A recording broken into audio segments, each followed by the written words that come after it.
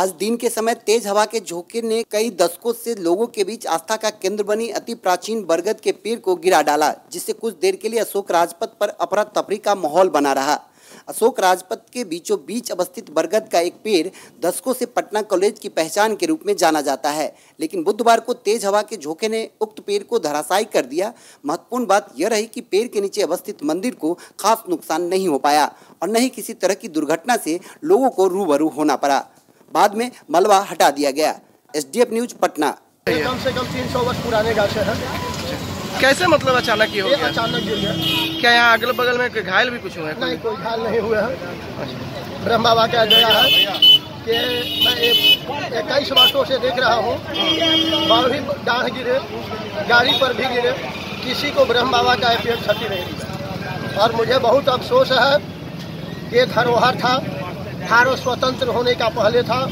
British government से थे। ये समझे कि अशोक सम्राट से मंदिरें हैं।